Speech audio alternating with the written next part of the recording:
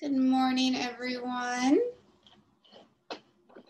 Just give it, it looks like a couple more people are entering right now, so give it a few minutes. I hope everyone's doing well today. Happy with the easing of restrictions starting tonight. Perfect. So we'll go ahead and get started. For all of you that don't know, my name is Emma. I'm the events manager that you've probably seen thousands of my emails come through or spoken to me on the phone. Unfortunately, we haven't met in person, but maybe next year. What I'm going to do quickly is just go around and introduce our team for the ones that were able to attend today, which I think I only see a couple of them here. We have Gary and Anton, our volunteer managers. And then we do have Sabina Wills, who is our CEO, who I don't see in here yet, and Sam Lawson, who is our project coordinator, which they'll be joining here in a little bit. And then we'll have some of our board members as well hopping in when they can. Oh, I see Sabina there. We'll just have her give a quick little wave now that she's in here. Perfect.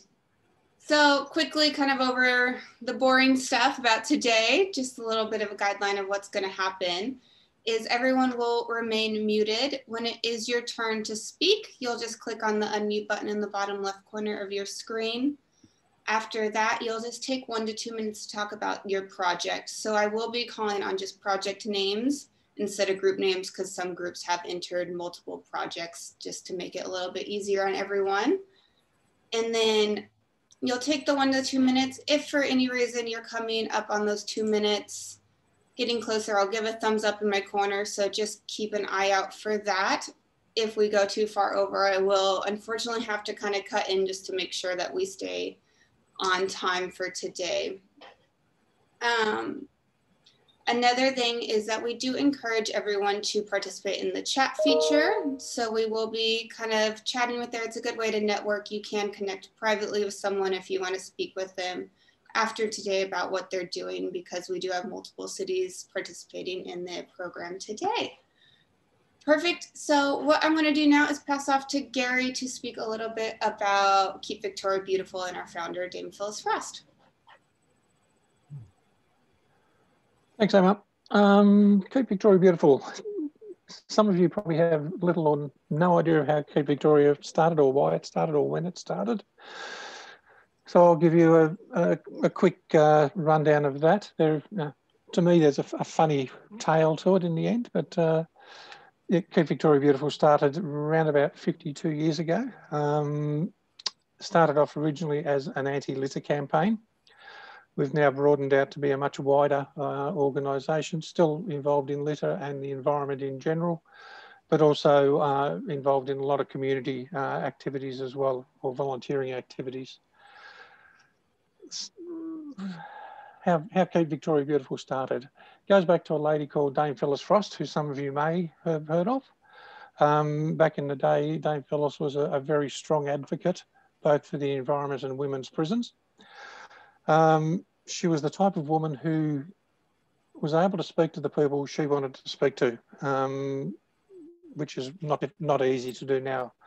Um, but she was a very strong-willed person, and as the story goes, she was driving up to Bendigo one day to uh, uh, present a speech, um, and driving up Calder Highway, and uh, at some stage a truck drove past her. Um, but not long after the truck passed her, the driver decided he was going to clean out the rubbish from the cabin of his truck.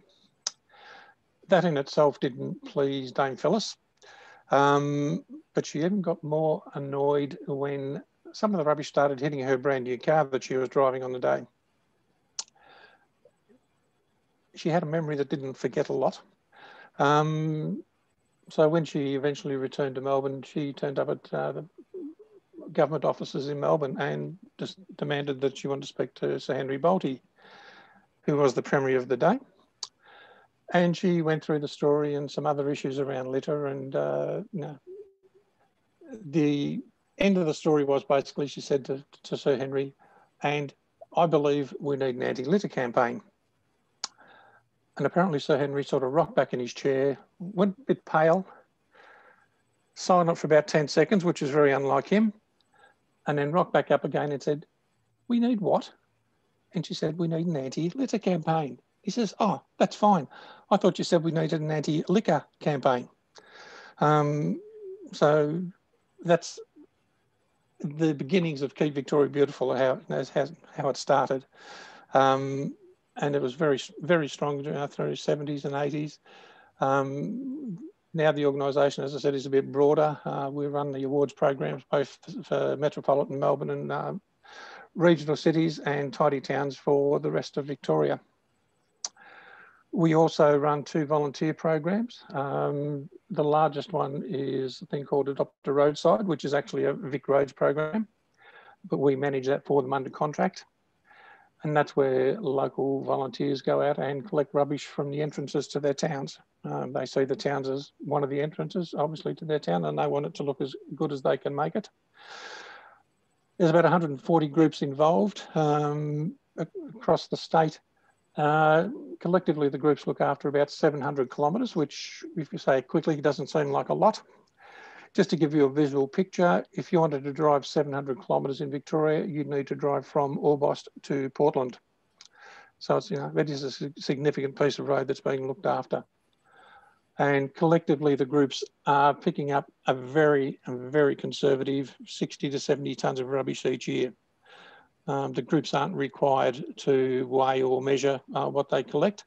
So the figure that we quote is always, we we believe, very conservative and we believe it's probably significantly more than that. The other program is a thing called Stationeers, which is a Keep Victoria Beautiful program. There's 60 groups across the state and they're groups that do beautification works around their local railway station the primary activity they do is to establish and then maintain garden beds around the railway station. Um, many benefits from that. One, the area generally looked better than what it otherwise would. Uh, it's a much more pleasant area for uh, passengers to go to. Uh, it provides the volunteers who do that with an outdoor activity, a physical activity, uh, an activity where they meet people that they may not have otherwise met. And it's also a very social activity. Um, a lot of the groups will do their gardening activity and then go and have go and have a cup of coffee or cup of tea afterwards. And to me, in some ways, that's almost as important as the physical uh, gardening work that they're doing. So they're the two uh, the two volunteer programs we run, the awards programs as I mentioned, and uh, just a, a brief, quick background of how Keep Victoria Beautiful was started. Perfect. Thank you so much, Gary, for that. Wonderful. It is time to get started. And what I'll do is I'll call in the project name again. If for any reason that group's not here, I'll just skip over it. If you've missed your name getting called, something happened where you didn't hear it, I will at the end just ask if everyone has been called on. So don't worry, you will get your time or if you've attended today because you couldn't make your original scheduled day. Perfect. So we will go ahead and start with Salem Fest, Festival of Peace. See them here. No worries. Um, South Bank Sustainability Group.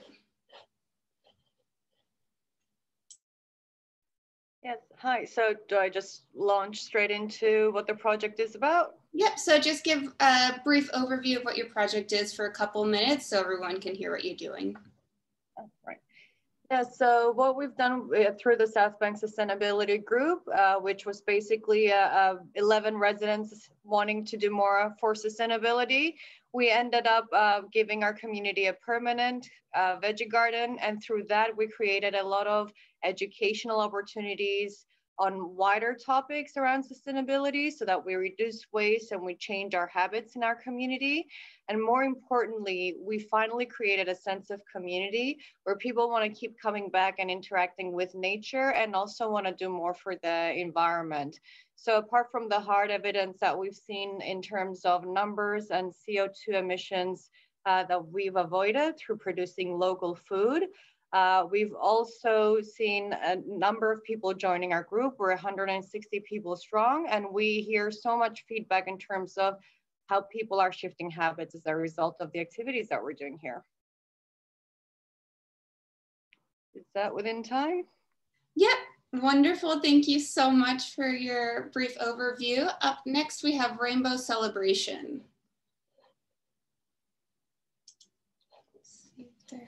No worries. Um, Aaron Dope. Whereas we'll keep on going. Ship for Good Inc. Oh. Hi there. Hi, hi guys. I'm um, sorry for the background noise. They're um, constructing something next door, so I'll be quick. But congratulations to everybody and thanks for that info on um, Keep Victoria Beautiful, Gary. It's a great story. Um, I'm not sure if you know too much about Ship for Good, but uh, it's a, a, a not-for-profit that it was established to take over the MV Steve Irwin, the recently retired flagship of Sea Shepherd.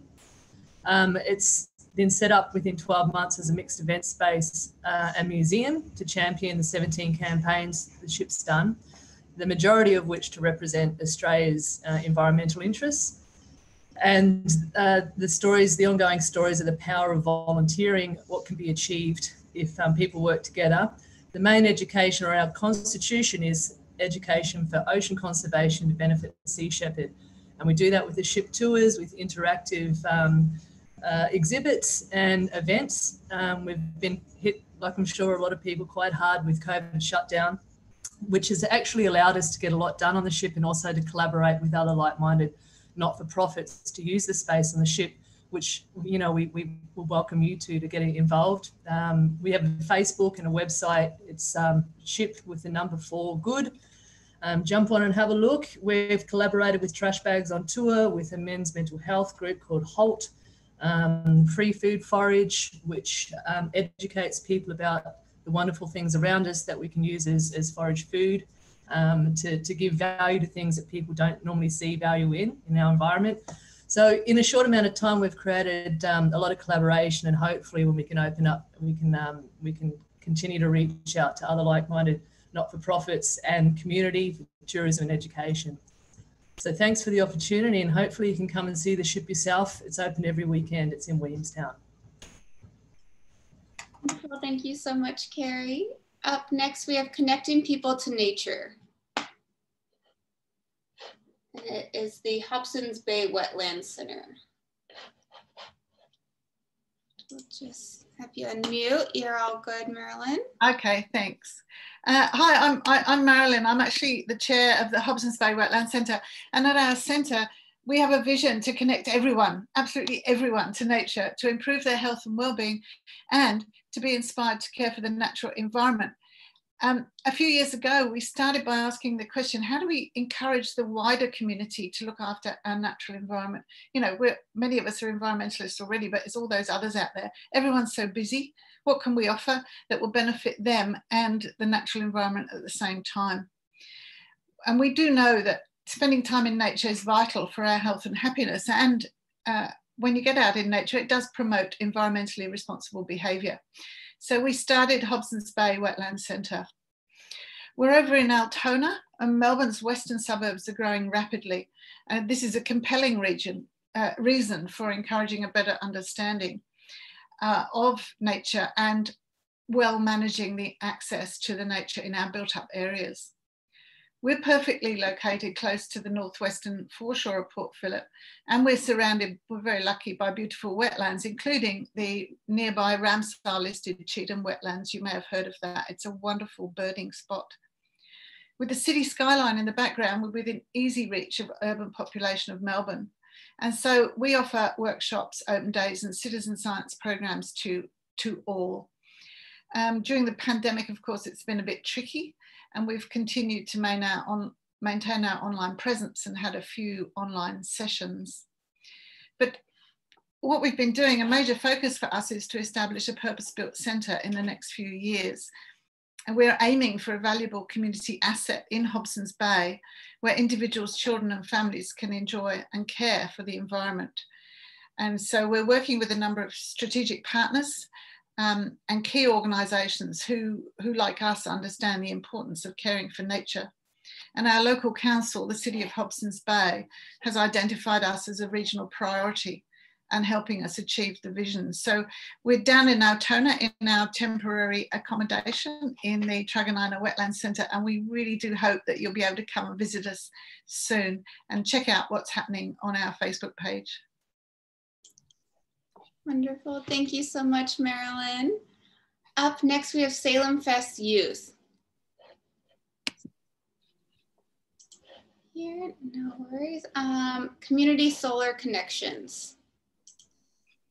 I think that's me. Um, hey everyone, I'm Beck Nichols from the City of Stonnington in the environment team.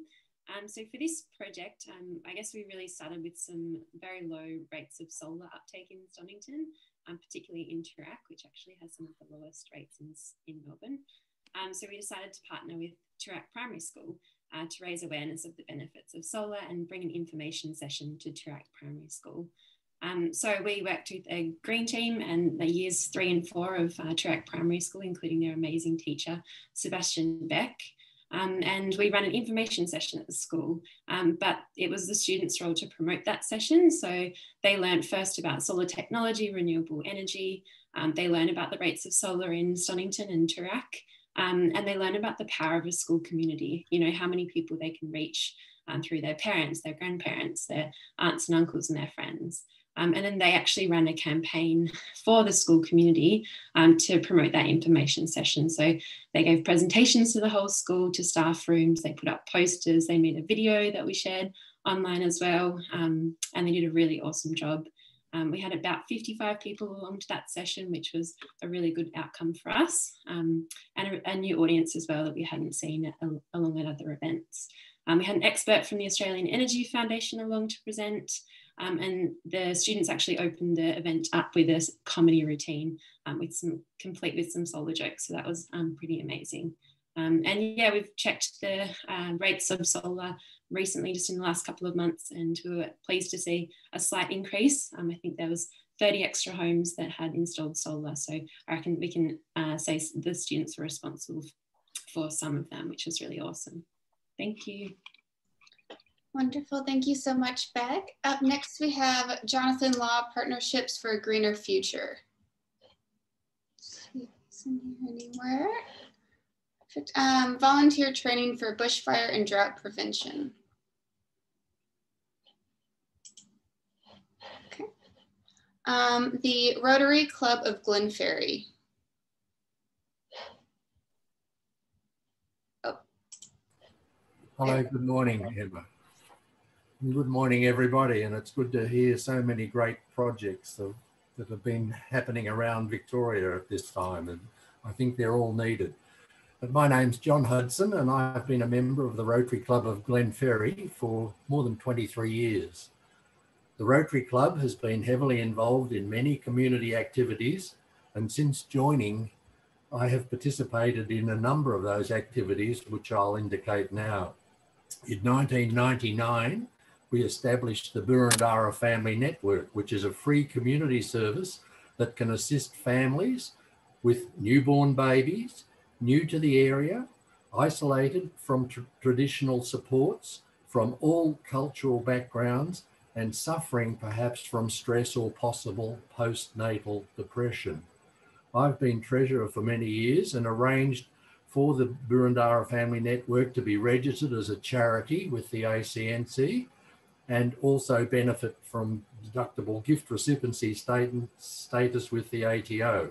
The project is still running successfully and services around 60 families every year. In 2003, in conjunction with the City of Boroondara, we established the Boroondara Farmers Market. This allows Victorian farmers to bring their own produce to a third and fifth Saturday of each month market. It is still running successfully, and I've been manager for more than 11 years. And the managing and organisation of the market is totally voluntary. Because of this, all funds raised, now in excess of 1.3 million, can and are used for community projects. One of the community projects is the Boroondara Foundation Chances, now called Education Chances Project. This provides scholarships for students attending secondary schools in Boroondara whose families have financial difficulties, and that has to be evidenced with a Centrelink certificate. And without the scholarship, they, the children may not have been able to attend the school. The project offers scholarships to more than 100 students each year, totaling around about $100,000 and has been operable for the past 12 years. During that time, more than a hundred, more than a thousand students have benefited, and all but one of those students has proceeded to tertiary education. The project is also recognised by the ATO and has deductible gift recipiency status.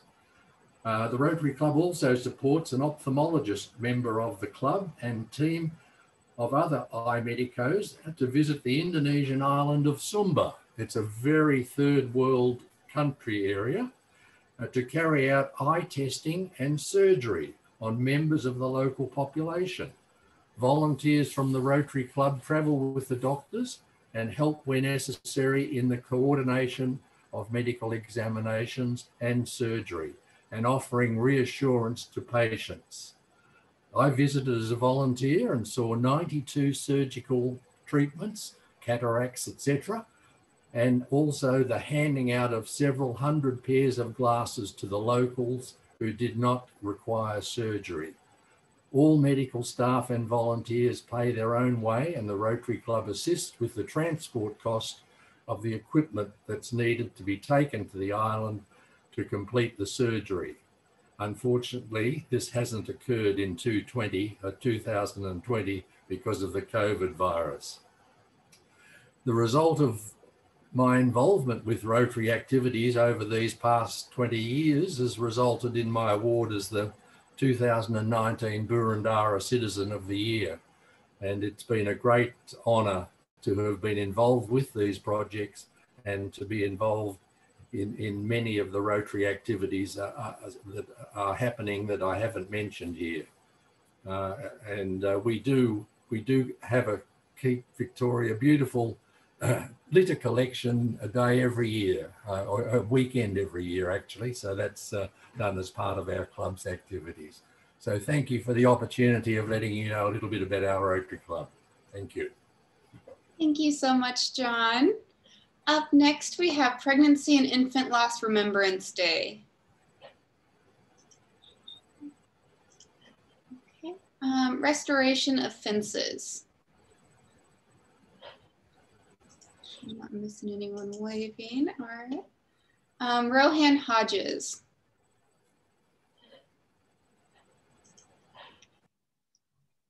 Right. Um, community and council food waste diversion. Roll right here. All right. Um, National Recycling Week social media campaign.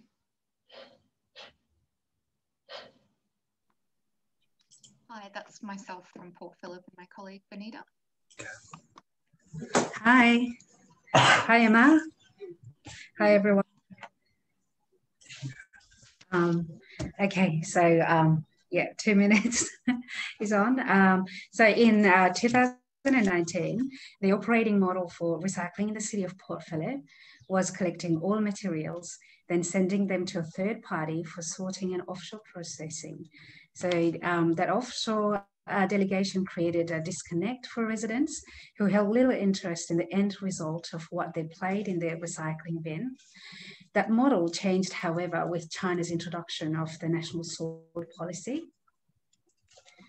Um, at that time, Council's third party processor, SKM Recycling, was no longer shipping their backlog of recyclable material offshore for processing. So that backlog became a stockpile, continued to build, and a decision was made to ship all of that recyclable material to landfill. That was picked up by the media, so it became a really big story, and the impact on resident behaviour was quite immediate. So as a council, Port Phillip aimed to minimise the damage from that event and look for local recycling solutions so that material could be processed. But the message that residents received was that recycling no longer mattered because it was going to landfill. So by the time we got a replacement arrangement in place, the impact had been sustained. And we decided to launch a campaign to re engage residents in recycling and tell them that by recycling their material, they were still having an impact. So this was timed to coincide with National Recycling Week last year. And um, we decided to produce a series of videos to remind residents um, that their recycling mattered. Yeah, and um, those videos covered a range of topics, um, including what can and can't go in each bin, and were broadcast on our social media pages. So um, it was viewed almost 6,000 times and shared to 35 external pages, and the campaign was expanded by the Metropolitan Waste and Resource Recovery Group too, who featured the campaign in their monthly newsletter as part of their council spotlight segment. So uh, more importantly, however, the campaign gave us the launching pad to rebuild the trust we'd held with our residents and convince them we all played a critical part in recycling right, and we're still doing it. Thank you. Perfect. Thank you so much to the both of you. And we're going to skip back to one I read over a little fast. Um, Council and Community Food Waste Diversion. Yeah, sorry about that one. That was my project. Um, so I work for the City of with Siobhan Benita as well. Um, and the program that I'll be touching on is our worm farm relocation program. So previously at St Kilda Town Hall, we used to have 16 worm farms that serviced um, the 400 to 500 staff that worked at St Kilda Town Hall. Um, and although this is a really great interactive tool for staff and members of the community, it was proven to be very costly to maintain because we had to outsource the maintenance of that um, and also quite restricted in what materials could be accepted um, because Worm farm's a little bit fussy. Um, and it kind of meant that our extensive event space wasn't actually recycling any of their food waste. So as a result of all this, um, this project actually involved transitioning from the worm farms to just a food organics collection service with an external contractor, um, which really was fantastic because it removed any limitations on staff as to what materials could go in. We could basically say if you could eat it at one stage, pop it in our three waste bins. And it also meant that we could expand the collection service to our rent space as well. Um, and basically with the impact of that internally meant that there was actually a 95% decrease in our monthly service fees transitioning to that external contractor, which actually meant that we had some funding to upgrade the internal bin infrastructure that was available to staff. So new bins and some new signage and also meant that we could start developing some really targeted, um, clear and concise educational pieces for staff as well. Um, and also because of transitioning to that service meant that we were able to conduct an expression of interest with community groups and school groups to rehome those 16 worm farms. So we actually had an overwhelming response from the community wanting to participate in that program. And we we're actually able to select 11 individual sites, including early learning centres, primary schools, high schools, and community centres to rehome those farms. And the resounding feedback that we've received from those sites was that the worm farms have helped them to integrate food waste education into the sustainability curriculum, um, which is a really fantastic result in itself. And although this program actually came about in relation to food waste diversion, this is actually a real first step for many of those sites into food waste management alone. Um, so I'm actually really proud of the impact that this project's had at St Kilda Town Hall, but also more broadly in the community.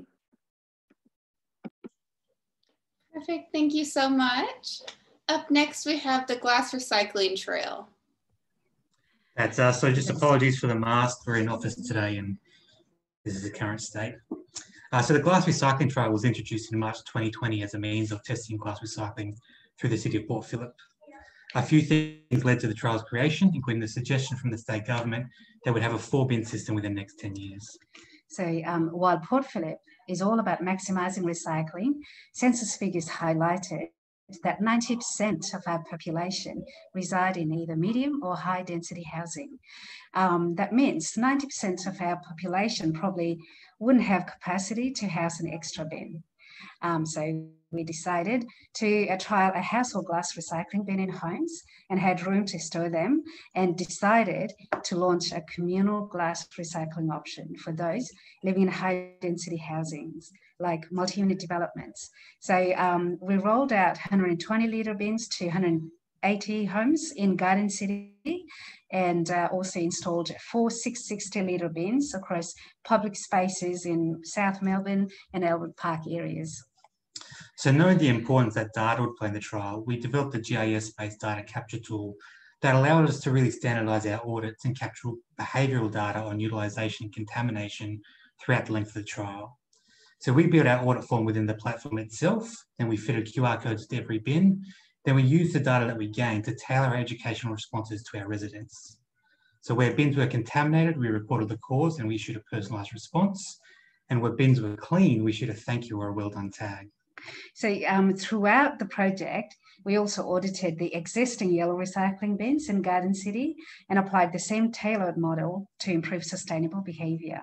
And the results, um, after two months, we had to increase the communal bins from four bins to nine and increase collections from once a week to twice weekly. We also captured twice the amount of glass in the communal bins as we did the household bins, and we did so with a contamination rate of just 2%.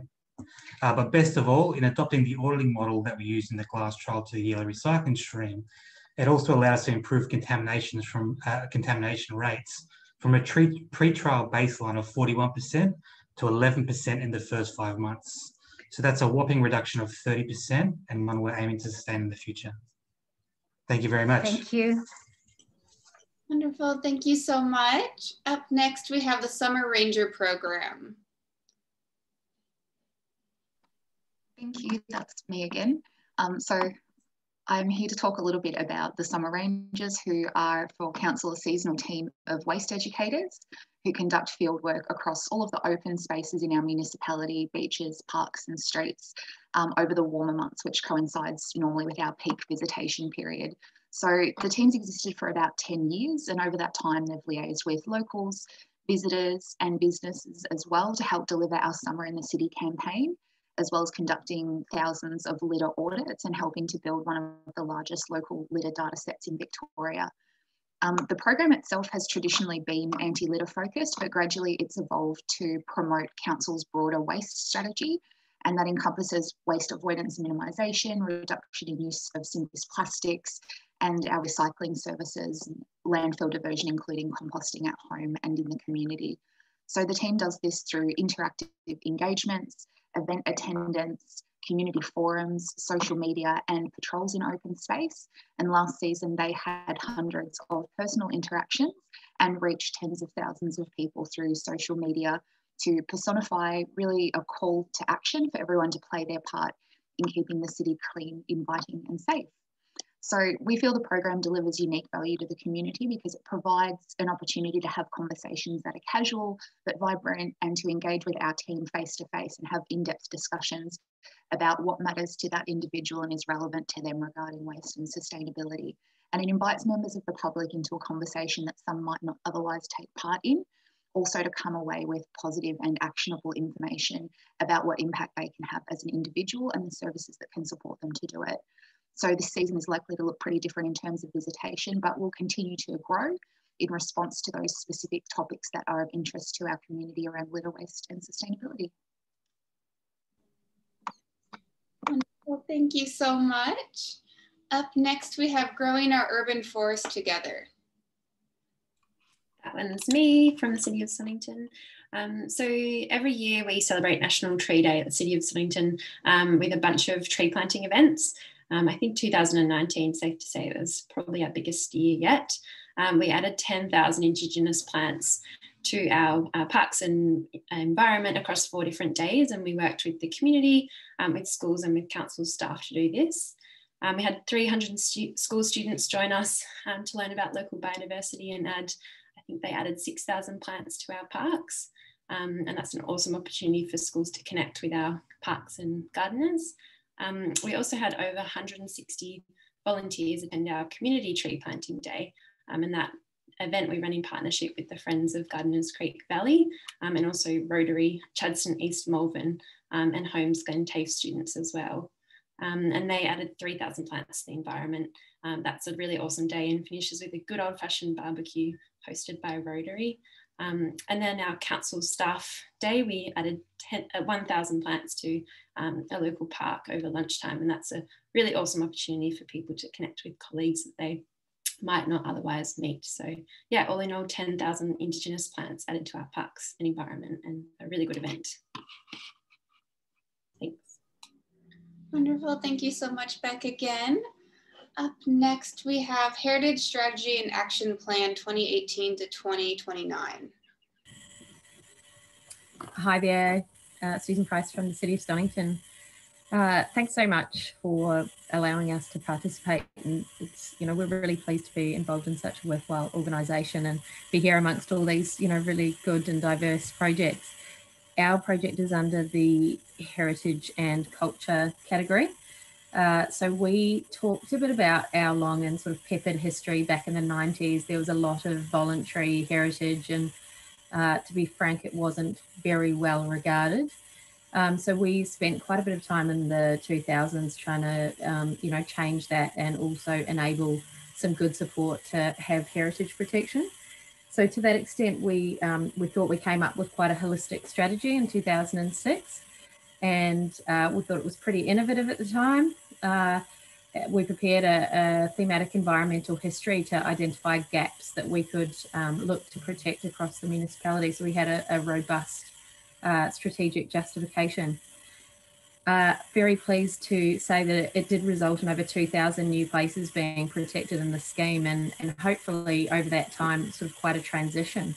So in 2018, when it was time to review the strategy, um, we took the opportunity to really step it up. Um, so some of the, the key things that, that we've included is we've taken a whole of council approach this time.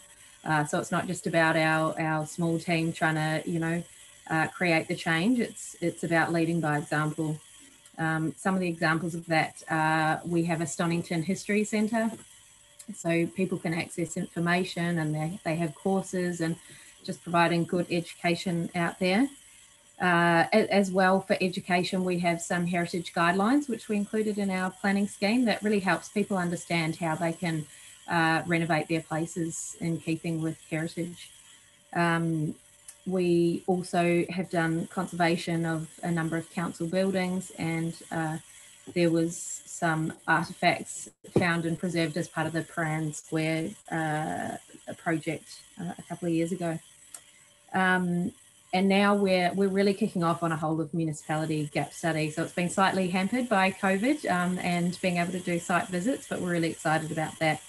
Uh, and the other thing is just really improving the access to information um, for people who want to understand and know about heritage. Thanks so much for the opportunity. Thank you so much. Up next, we have Purple E-Waste Eater School Visits.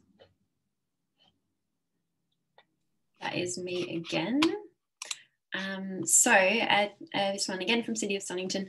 Um, to celebrate National Recycling Week, uh, we took our giant purple e-waste eater um, out and about to the streets and collected um, hundreds of items of e-waste from local schools.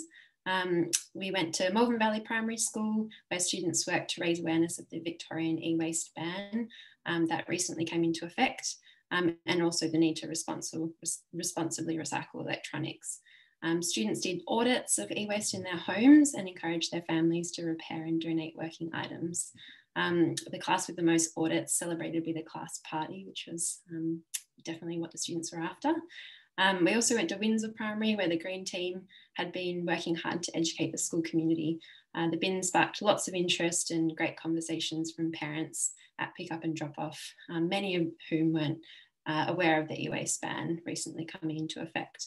Um, we also had another school, Armadale Primary School, run a really successful collection day, um, collecting a whole uh, 660 litre skip bin of e-waste. And um, students ran a uh, waste sorting game, um, sorting different items of waste into different recycling streams.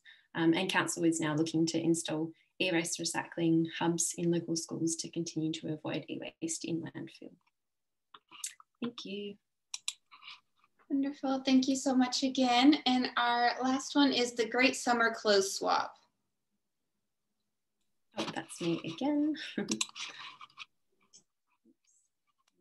sorry. Um, so for this one, um, this was last year in February as part of the Sustainable Living Festival. Um, we hosted the Great Summer Clothes Swap at the Melbourne Town Hall. Um, so this was definitely the biggest close swap we've hosted to date at council, um, and we actually think it's the biggest swap in Victoria. Um, we had over 500 swappers, um, more than 1,500 items of clothing were swapped and rehomed. Um, so as well as the main close swap event, attendees also filled our banquet hall for talks exploring decluttering and conscious consumerism, sustainable fashion and op shopping. Um, attendees were also super interested in visiting the bunch of community stalls that we had um, and council's information stall was non-stop with residents learning about composting and taking our recycling um, sorted out challenge and also um, leaving pledges as well. Um, a follow-up survey found that most attendees were planning on making changes in their home or in their life after attending the event, um, like more swapping, more op shopping, buying less, decluttering, or improving their recycling at home. Um, so yeah, this is the third year that councillors run the closed swap um, and we'll continue to explore ways to engage and um, educate our community on responsible fashion and con conscious consumerism. Thank you. Wonderful. Thank you so much. And just before we wrap up to make sure, was there anyone else who I did not call on or attended today because they couldn't make the other day they were assigned? Wonderful. Well, thank you so much for everyone for attending. I'm quickly going to pass over to Sabina to say some final words and then we will have everyone unmute themselves and give a big round of applause for everyone. Thank you so much, Emma, for hosting, and thank you so much for everyone attending. This is one of my favourite times of the year at Keep Victoria Beautiful because I get to hear all about these amazing projects, and they all really inspire me. So you've all done a fantastic job. So um, yeah, so as part of the awards, we've you've had the judging, so that wasn't today. So you've all been judged for your projects, and the judges have had that hard job of deciding which project's are best because I think they're all fantastic. Um, and today is a great opportunity to hear about projects. And we've actually got these happening um, all week at 10 a.m. So if you'd like to come along and hear about some other projects, um, because yeah, it really puts a pep in my step when I hear all about these projects. Um, so then the next stage, if we don't see you during the week, it will be at the awards, which is the 12th of November, which is an online event um, because we've had to plan that with you know the restrictions at the time. So thank you again for all the work that you do, and if we could all please unmute Emma with her magic thing.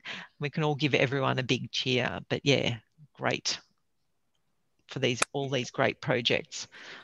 Emma, press the button. Good luck, everyone. Yeah, and good luck. And you're all winners because it's just amazing projects. Yeah. Yep. Thank you for telling me all about them. Um, Thank you. Thanks so much. Thank you. Have a great day, everyone. all the best. Thanks.